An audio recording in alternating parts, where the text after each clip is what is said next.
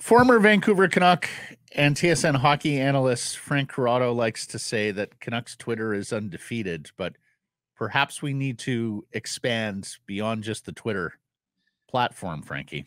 Listen, I got all the time in the world for Canucks Twitter, Canucks fans. What I don't have time for is in a very professional setting like LinkedIn. I don't need a message on LinkedIn where you come at me all pissed off that I said that the Canucks couldn't handle the physical uh, Winnipeg Jets on a Saturday night, and they you like if you saw my hit with Jay Onrait the next day, I I said that I felt like Vancouver got running around in that game, and that opened up some ice for Winnipeg, and they were too focused on winning the physical battle instead of winning the game. And I've never seen this before but I got a message on LinkedIn. First of all, I accepted the guy because oh. I accept everyone on LinkedIn. I just assume, you know, let connect. They want to make a right? deal. They want to make a deal. And yeah. These are professional people. After, I see my phone pop up and it's some dummy all pissed off saying that I'm biased. I played for the Canucks, but I'm biased towards the Jets. Right. Get out of here on LinkedIn. Get a life. LinkedIn. You're biased against the team that you played for, but not yeah, I'm not following. Okay. LinkedIn. Well, and, and, okay. If this is my Instagram picture, okay, with hmm. the two gone, my LinkedIn picture's got to be like, you know, very prim and proper, suit and tie. Like, yes, yeah, ridiculous. Time and place, time and place. And well, not to mention what your take was is pretty much the take of everybody after that game. As Juulsen chases the hit, allows the like. I mean, everybody was everybody was saying that. So yeah, no, but what I'm thinking about with this is Homeboy was probably, you know what? I'm going to go after them on LinkedIn. Yeah. Everybody goes after them on Twitter. I'm going to go sneak and attack. put out these. Yeah, exactly. Yeah, it's a sneak attack. Yeah. It's a Trojan horse. Yeah. Here you know, what, you know what LinkedIn is filled with? You know what LinkedIn is filled with? People saying, hey, so and so would love to see if there's some synergy be- between our two brands. Why don't we hop on a call? And mixed into that was, I can't believe how biased you are. Yeah. Uh, take a hike. Now, would Let's you like to invest in my Bitcoin company? Exactly. Yeah. Oh my god! Oh, Congratulations on your work anniversary. Congrats on the new role. Oh it's so god. fake. Like people do not talk like that in real life. No kidding. Okay, have I got a deal for you though, Frank Corrado? Um, what'd you make of the bounce back after a game that can oh. not really be described versus the Minnesota Wild? Did you, do you believe in moral victories for a first place team? Why are you doing this? As they go toe to toe with You're the just waving the red meat in uh, front of my face. What did you Listen, think of the effort? Um, moral victories. Okay, like you know, it's great to have uh, bounce back performances, and you know, it's it's such a delicate thing I find in a regular season where a team can go on a slide. You don't you don't bounce back from it for a long time. So at least you do it sooner rather than later. But that was that was crazy. Like for lack of a better term, no pun intended. That was wild. Um, I, I don't know. Like I don't know how to describe what we what we saw in that game. It was truly one of the most bizarre displays of hockey. But listen, it's a long year okay it's 82 games there's ups and downs there's days you go to the rink you feel like crap uh, there's days you go to the rink and you, you know you just don't have it so yes there is something to be said internally within the group where it's like we kind of know leaving the rink that we, we gave it an honest effort and that was a good game and you can like you can justify that kind of stuff like the players coaches always kind of say that if we're going to lose a game let's lose a game where we actually played pretty well. Like the other team actually beat us. And um, that's going to happen. And I, I, thought that's what would happen uh, with the Canucks against Colorado. Alain Vigneault used to always say at the end of a winning streak, you're playing bad and winning. And at the end of a losing streak, you're playing well and losing. Um, I, so tonight, you know, versus the Kraken, I would say you know, you'd want to see that continuation, though, right? You'd want to see that eh, another good game to lead you to believe that the wins are not too far on the corner. If it's not, if it's not tonight at all. Yes, exactly. And I, I saw you guys the the poll question today. Like, is it a, a must win? I wouldn't say it's it's a must win, But in order for like the group to kind of believe in things here, like which they should, and they they absolutely should, but it's almost like one of those things where within the group, we're not messing around because we've lost some games now in a row and you, have basically like you've seen what the spiral can be at times although this year it hasn't really happened like let's right the ship and the best way to do that is is to get a win and so while it's not technically a must win i think there's there's going to be a lot of urgency like I, I sense there's going to be a heightened sense of urgency in this game and um, i would imagine like less mistakes, you know, a little more tighter defensively, a little more onus on, hey, let's make sure we block that shot, like all that kind of stuff, because it is good to have little moments in the season where you get tested, where you get tested by the schedule or the teams or or even your coach. Like your coach is going to throw that out there and walk in the room and say, guys, this is a very good challenge for us today. Where we played better, we didn't get the results. Like let's do it for ourselves here to kind of know that we can turn things around as quick as possible. And that's what I, I would expect expect from the Canucks. We have to let you in on the joke, though. The must win poll question our old colleague Dave Pratt, who you were a Canuck when Dave Pratt was mm-hmm. yeah, on the I remember air. the name. Yeah. Yeah. So Dave, Big Daddy, you know, used to break out the must win in late October. Yeah, this is tasteful. Usually, this is downright tasteful. Remembrance yeah. Day. so we're having yeah. some fun with with that today. Um, speaking of fun, the dad's trip and we uh, were talking to Brenton Demko on today's show, Thatcher's dad. Did Big Sal get on a, a dad's trip, your father, at one point? Two of them, one with the Canucks and one with the Leafs. You guys want to hear a great dad's trip story? Please. Please. Oh, man, this is a doozy. I got to set the scene for you. So this is in in Vancouver. We're we're doing the dad's trip in Chicago and Minnesota. Yeah. And they treat us so well. Like it was, you know, first class experience. All the dads are really enjoying it. Think about all the the sacrifice these guys, you know, have um, and go through to get get us to to that level.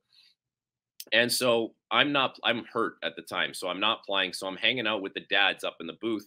And I'm sitting on one of the couches in the suite um, during the game because it's just tight in there. Like there's not enough seats for everyone. So some guys are kind of taking shifts, going to the seats, to watching on the on the TV, whatever. Underneath the TV is all the food stationed, right? And me and my dad are sitting there, we're watching the TV. There's another father next to us. It's a very prominent figure in the Vancouver Canucks organization, very, very high up. And he is situated standing where the food is blocking the TV. Now, another father says to that gentleman, Excuse me, can you please get out of the way? We're trying to watch the game. Something along those lines. I'm not going to tell you whose father it was, but I will say that person may have been paying for the whole shindig.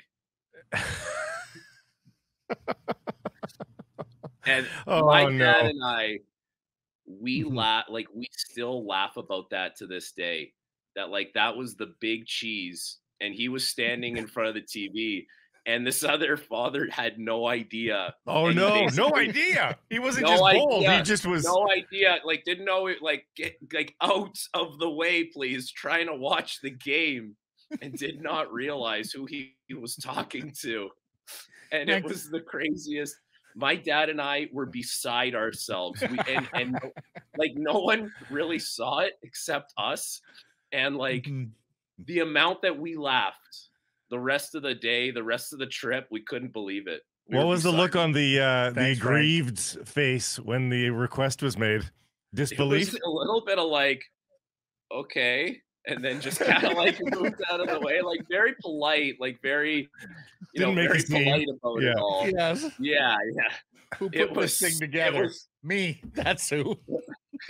like it was like, all right, you know, I'll, I'll, move, but oh man, it was, it was something. It was. Something. Hey, you you have told us in the past you go way back with Phil Di Giuseppe, and I know you're amused watching his dad, Luciano Di Giuseppe watched the game in the box the other night. It was great. It was great to see. Uh, they they showed the the, the booth and, and you see Luch. And so Phil and I played minor hockey together. And Luch's got a great mustache. It's original. It's still there. But it didn't matter how bad you played. And you know, some parents can be really hard on their kids, or like you'd come out from the dressing room carrying your hockey bag. There was Luch, fist bump, great game, buddy. Like the most positive oh, guy nice. ever. Um, yeah, very, very nice. You could have had the worst game. You could have had like three giveaways, fist bump, pat on the back. It's okay, buddy. It's all good. You know, you, you go, you get get back after it next game. Like just, just the nicest gentleman ever.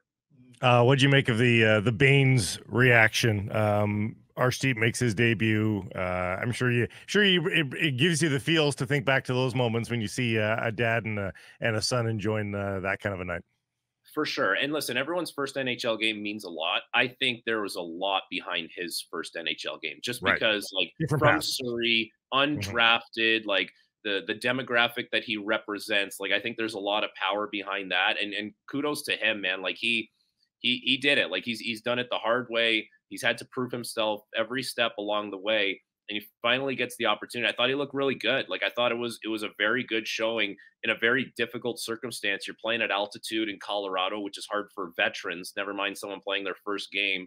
Um, thought he he made some good plays with the puck.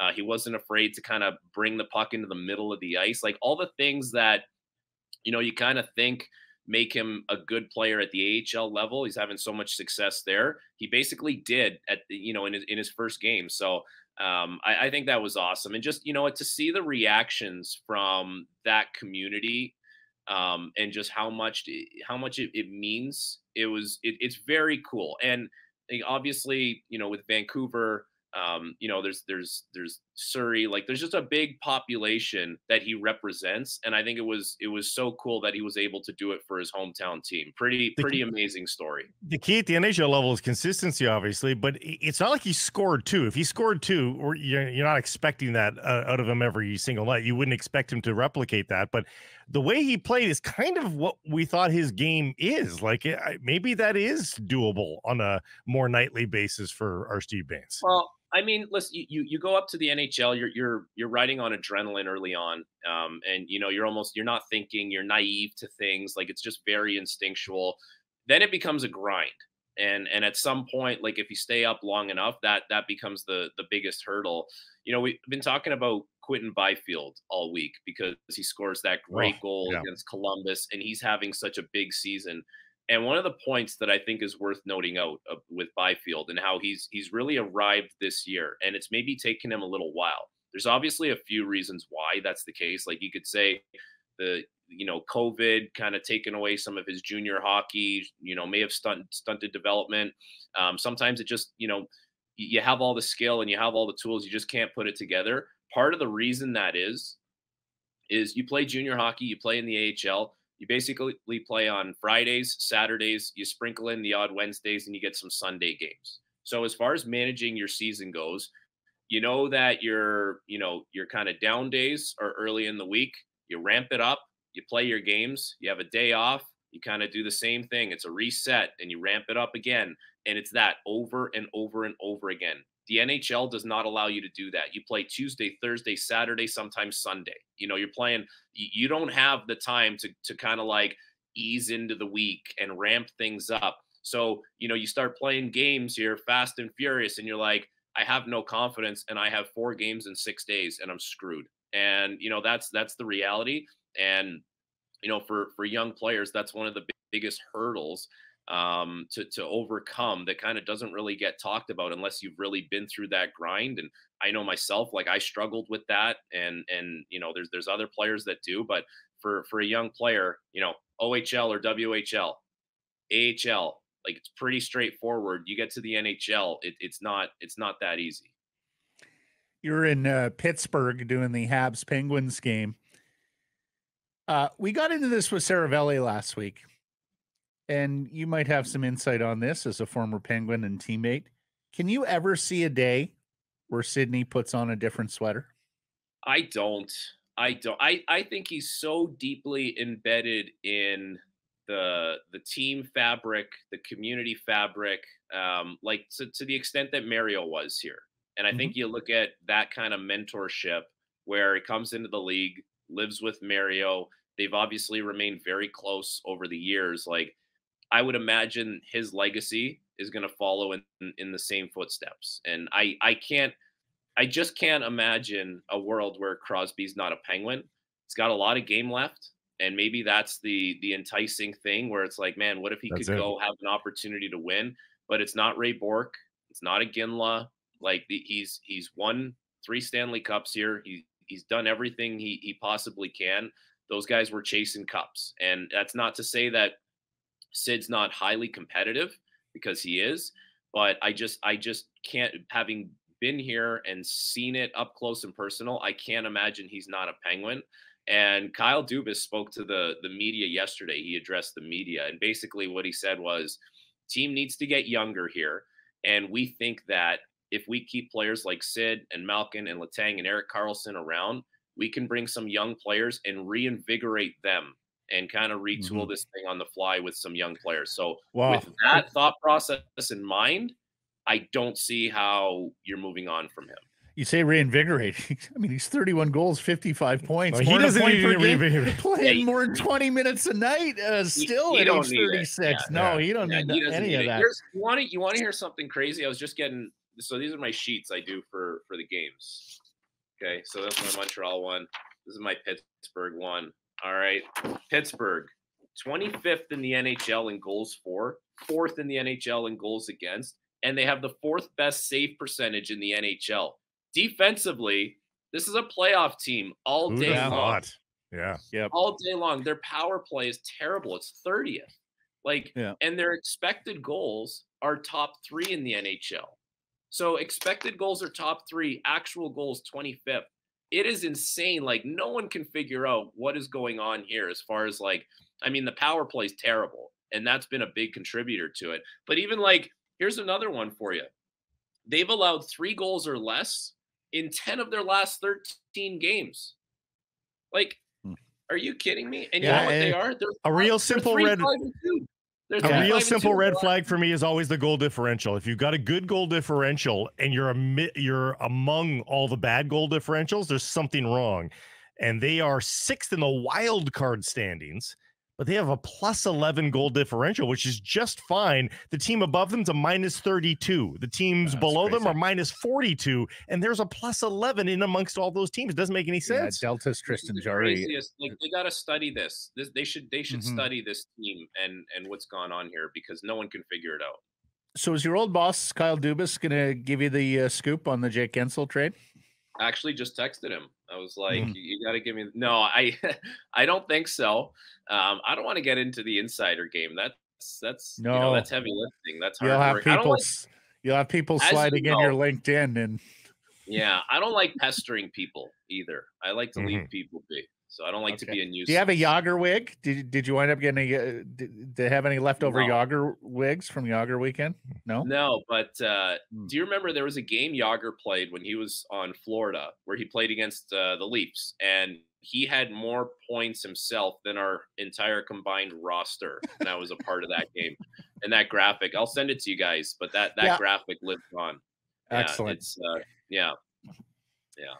Well, Frankie, gotta say, great synergy here, buddy. Let's hop on a call yeah. and do it again next let's, week. Let's do All a right. Zoom next week and uh, see if we can yeah. put some of these details hit me, together. Hit me up yeah. on LinkedIn. Yeah, I think we have a lot of connectivity and uh, great synergies, and I, I really um, am excited about where our brands can go. So, yeah, absolutely. Uh, yeah, your KPIs are impressive. Real good brands. KPIs. Yeah, good.